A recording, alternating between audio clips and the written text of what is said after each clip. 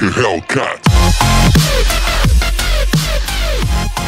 Hey, welcome back to the channel. All right, we have some exciting stuff to talk about. So it's pouring outside, but that's okay. We're going to get through it. Um, probably have to close this garage here in a minute. It's been running pretty bad. But it's very, very exciting. Dodge has released their new 2019 Red Eye wide body Hellcat. And this video is going to be packed full of information and we're going to directly compare it to the upcoming 2020 GT500 as well. So to get started, so Dodge today has released or, to, or yesterday has released the Red Eye and I've got a sheet here so we don't mess anything up. The Red Eye Challenger, it's a wide body Hellcat. Um, this essentially is going to be coupled with the 2.7 liter supercharger that is found on the Demon. So that's that's awesome there. It's going to also have some stronger internals as such because this guy is going to have 797 horsepower. And we're still going to stick around with that 707 number except it's what it's going to have in torque. 707 pound feet of torque. Awesome.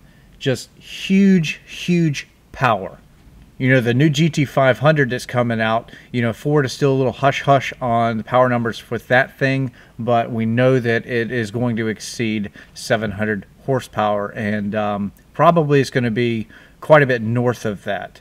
Um, I would like to see you know somewhere closer to 800, and it very well may. But you can't argue with the fact that 707 horsepower, I'm sorry, 797 horsepower is quite a bit you know, for for a street car that could put groceries in, and you know, just the reliability that all these cars have these days. Uh, Dodge is is nailing it with these things. Now the unfortunate thing is, it still looks like um, it's going to have, you know, the same baby tires are on this thing, and um, you know, maybe they'll they'll update us a little bit further on that, but uh, it looks like it's still going to have these regular Pirelli street tires as of right now, which is unfortunate.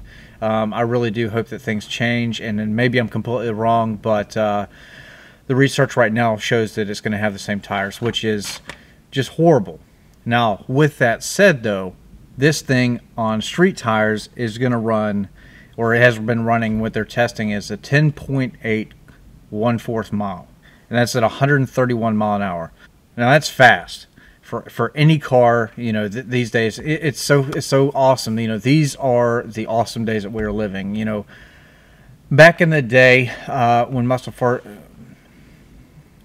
you know, back in the day when muscle cars, you know, first started coming about, and you had all these horsepower wars. You know, back, you know, everybody was competing for the best car, and that has truly been going on you know this past decade. And it's just it's it's getting out of hand but um, it's awesome. And we all love it. So 131 mile an hour at a 10.8 quarter mile is nothing to frown at. That is awesome. So just imagine what this is going to do on drag radials or an actual dedicated slick. I mean it, it, yeah it's going to be a nine second car maybe now carrying on to the weight. So this is unfortunate, but uh, they're not going to uh, decrease the weight of this car uh, for 2019. In 2020, they are talking about it, and it's probably going to be about 300 pounds lighter or so. But for the 2019, it's still going to weigh around 4,400 pounds. So it's a big, heavy car. It still is. So when you order this wide body, um, some of the cool things that are cosmetically going to change are, you know, the hood. We've all seen those teasers before. Uh, it's going to have these uh, two snorkels on the hood, and they are functional just like a regular Hellcat. Um, you got a bigger blower, you're going to have more heat, so you need to be able to cool all of that down. You're also going to be able to get a bigger rear spoiler on your wide body. Now, in line with this thing, you're still going to be able to get the narrow body Hellcat and they are going to increase the horsepower for that. So that looks to be 717 horsepower. And uh, there's there's going to be a price difference. I don't know what that is yet uh, between the two. But if it's affordable, you know, if you can make that jump, 797 horsepower is the way that I would go. Let me know how you feel. And, um, you know, this was bound to happen. You know, with the killing off the, the Dodge Demon uh, with 840 horsepower, you know, they have to advance the product line. Now that that car is gone, this is the way that they're going to do that. Now the cool thing is, is 840 horsepower in the Demon, you had to swap the PCM and you had to do stuff like that.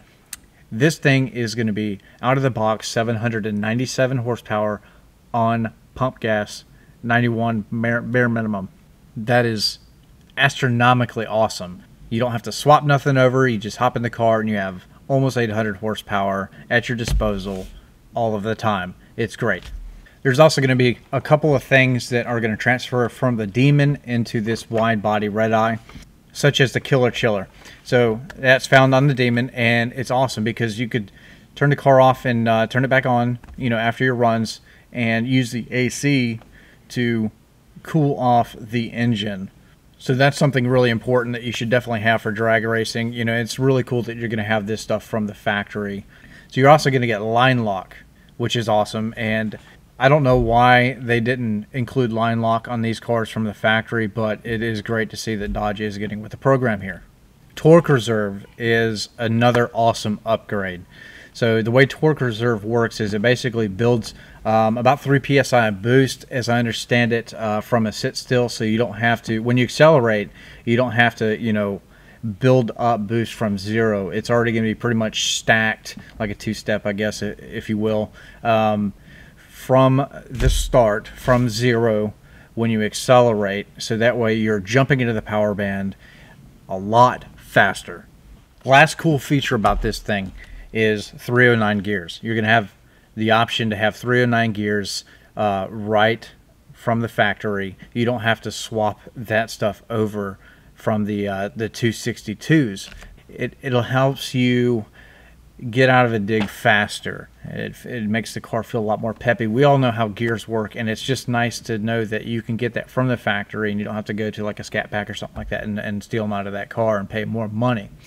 But uh, with that said, the 262s for high speed runs and for modified cars are probably going to be your better choice. So if I bought one, it would def- I'd probably definitely go with the 262s because once you start throwing power at it, if you have the 309 gears, um, you're going to have a lot of traction problems. And with the, the crappy tires, you know, that are still coming on this, uh, you know, it's just one of those things to think about.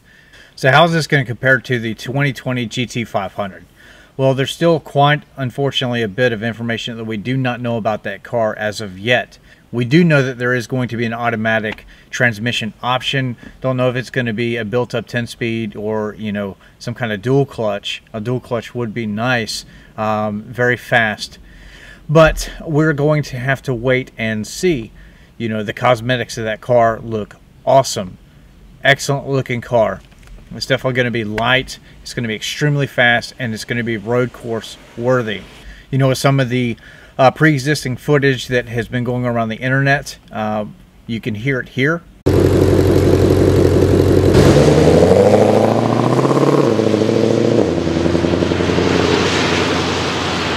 So yeah, we definitely know that there is going to be an automatic option uh, in the GT500, and that is awesome very very welcome news and really does open up the door to you know a whole different side of uh, consumers because not everybody wants a stick shift and i myself am kind of done with stick shift too. But it is hard to argue the fact that uh, you know an automatic will outperform you know a stick shift manual on road course. Um, you know they still do have their place in this world today and they rightfully should but out of that car with north of 700 horsepower out of the GT500, um, Dodge has really done it. I think um, they've really stepped up the game here. We're going to have a, a, lot of competition.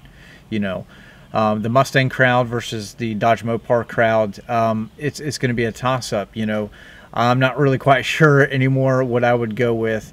That new red eye looks awesome, especially with the advertised. Videos that we see it being in that silver color, it looks very menacing. Um, it looks basically it's like a, a, baby demon, if you will. Um, and I think that it's probably going to outperform the Demon in some ways, you know, especially for just an out of the box car that you don't have to swap anything over. It's, it's going to be awesome. You have 797 horsepower right at your fingertips without doing any work to the car. You know, it's really cool that you know the Demon came with the Demon crates, and you can option all those these those add-ins for an extra dollar, which was which was awesome. And who wouldn't do that? But um, I think out of the box from the factory showroom floor, it's going to be very, very hard to beat, even though it still weighs a lot. So, yes, the end of the day, there's still a lot that we don't know about this 2020 GT500. And I am excited, as all of you are, to find out um, all the nitty gritty details. It's going to be an awesome machine. It's going to be very, very fast. And it's not going to be just a one trick pony you know that the car in the direction of the S550 ever since 2015 and then with the 18s that came out you know Ford is really pushing these things to be more road course worthy. So you have the PP1 cars and then they came out with the PP2 cars which man that thunder is something else. You hear that? That's crazy. Yeah it's storming pretty bad. But the PP2 car is uh, is really a force to be reckoned with um, on a budget on the road course. All right, so like I said, uh, continue watching, and I'm going to roll some footage uh, released by Dodge that covers the new release. So, with that said, before you watch this, they have also introduced a new Scat Pack, um, or I'm sorry, the new 392, and it is a wide body. Now, when we look at this footage that you're about to see, you're going to notice that it is basically a Hellcat same hood, same bumper, same everything, except the front grille is a little bit different. But I have a huge problem with this. It looks just like a, modern day uh, narrow Hellcat. Um, I, I, do like the fact that it kind of looks meaner and beefier, but it, it's so it's a, it's a wide body 392 um, built like a Hellcat, and um, I just think that it should have been more diverse. I think that it looks too similar, and um, you know that is unfortunately something that Dodge does do is they copy a lot of the stuff down to their other models instead of diversing them up a little bit as far as uh, the way that they do look. And I think it's unfortunate. You know, it makes the Hellcat that we have now a little less special, if you ask me. But I'm going to quit rambling and we're going to jump to some of the release Dodge footage and uh, let you make up your mind and uh, of what you like. And um, definitely comment below what you think about all this and uh, maybe what direction should I go in the future because I've already been hinting at another car in the next year or so for the channel. So with that, I do want you to subscribe, hit the thumbs up and like uh, this video, share it around if you will, and uh, it would definitely uh, be something that I'd appreciate. And also turn your notifications on. So definitely very important you turn those notifications on so you don't miss this stuff. This is like the fourth video I've done this week, and uh, we have them rolling out quite a bit. Uh, we got three cars. I'm going to jump right into uh, uh, the, the first launch today. Uh, so I'm going to be introducing to you 2019 Dodge Challenger Scat Pack wide body. All right, a couple things about the, uh, the wide body. Uh, first of all, under the hood is a 392 V8. Uh, it has a best-in-class 485 horsepower. Um, naturally, you're going to notice next on the wide body that it's three and a half inches wider uh, with the wide body, which allows for improved performance and handling. The second car is one in which you guys are familiar, familiar with as well. Um, so let's introduce the 2019 Dodge Challenger Hellcat. So naturally, uh, we sent out a few sneak peeks of the, uh, the Hellcat. Some of you had an opportunity to, uh, to see the dual snorkel hood. That's the big news that we have here today for the, uh, for the Hellcat. It's actually a functional hood. So inside the, uh, the, the, left side here of the, uh, the, the, hood snorkel um, allows 18% additional airflow um, into the inlet box. that additional air allows us to have an additional 10 horsepower.